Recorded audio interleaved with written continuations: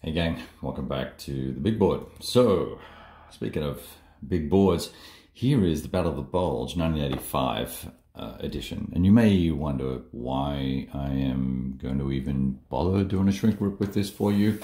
Uh, it's because it's kind of a, a, now, as of today, a special game. A friend of mine uh, who uh, he and I go to, I guess, uh, it's, kind of, it's a thing called the Settlement Home garage sale and it's done in a big convention center and has a lot of books where I buy a lot of my books uh, secondhand. And I always kind of swing by the kids' games section and check out games and see what's going on there. And uh, one year I was out of town and he was there and he picked this up for, you know, five or 10 bucks or whatever, whatever it was. And uh, he had it, the only reason he bought it was because he was, uh, his grandfather, I found out, uh, served in the 30th Infantry Division in World War II and was a member of the 120th Regiment, which saw a fair amount of action uh, post Normandy, in, in particular in Mortain. And in fact, I think the entire division, Old Hickory, was given a presidential unit citation just this year for that action. Uh, and they were also at the Battle of the Bulge and in fact, that unit, you know, the unit that he was in is in here. And this friend of mine didn't really know very much about, because uh, his grandpa didn't talk about it, obviously enough. That's kind of the the old breed, and that's how, they did things. You, and in fact, I'm sure that's still the case today, that most of the time, uh, uh, post-action uh, conversations are pretty rare, unless it's with uh, fellow veterans and things of that nature. So as a young boy, he never heard anything. And then when he was older, his grandpa passed away. So uh, I did some research and found out that his uh, grandfather was actually in an AT company. And uh, so then I, you know, gathered up some links and showed him how to get the jacket for his grandfather's service records. And his grandfather was uh, uh, friendly fire wounded uh, in an aerial bombardment which kind of makes me think it might have been not at the Battle of Bulges, which is where they thought he was injured, but probably Mortain potentially, right? Uh, they were in a building and it got shelled by or bombed by uh, U.S. aircraft, and uh, so he got Purple Heart, got a Bronze Star. Uh, I think I think there were three thousand Bronze Stars issued to the uh, members of the 30th Infantry Division in 200 and some days of uh, combat uh, or in in theatre uh, during World War II. Anyway, so he gave me this game, and uh, he said, "Hey, look, you know, you'll you'll use it and play it and all the rest of it, and appreciate it way more than me."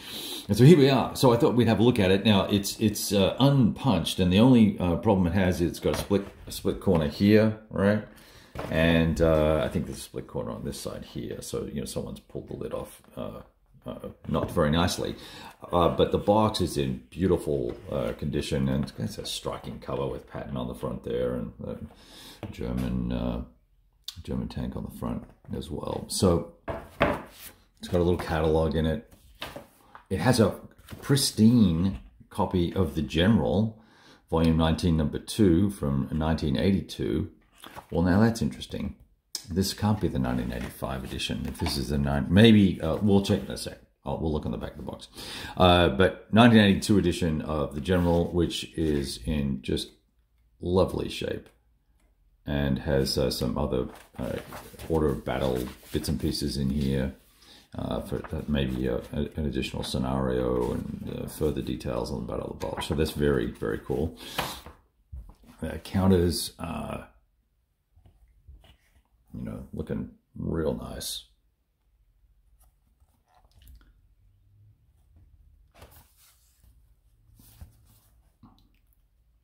And uh, I'll show you, there's the, uh, where is it? It's here somewhere. 30th 120. So I showed him that, and then I showed him, uh, you know, where they were stationed in the Bulge and stuff like that. it, was, it was really cool. And then there's the setup charts and the rules and you know, it's 22, 25 pages of rules and the order of appearance and CRT and uh, and of course this is Bruno's design, right? That was originally done in 65, I think. And uh, we now have the new, new version of this, uh, sort of the Bitter Woods extended edition, advanced deluxe mega edition called Time for Trumpets that's coming out. So that'll be wonderful to get my hands on and lay this out beside it and have a look at the two. Uh, I, I have uh, an earlier version of uh, of this game, the Battle of the Bulge. Let me just see what year that is.